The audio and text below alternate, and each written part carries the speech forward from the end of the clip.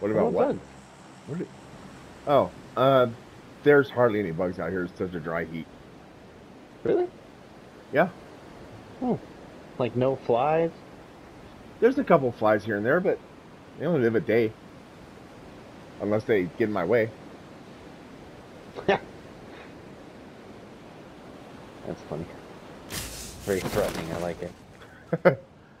I have learned that there's a very thin line between killing a fly and applauding a fly.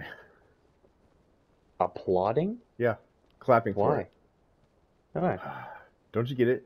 Because you keep missing, so you keep clapping your hands together. Oh my god, that is such a dad joke. I never, ever want to hear that again. It's from one of my favorite comedians, Demetri Martin. Jesus Christ. You need to, you need to clip that because that needs to be its own video.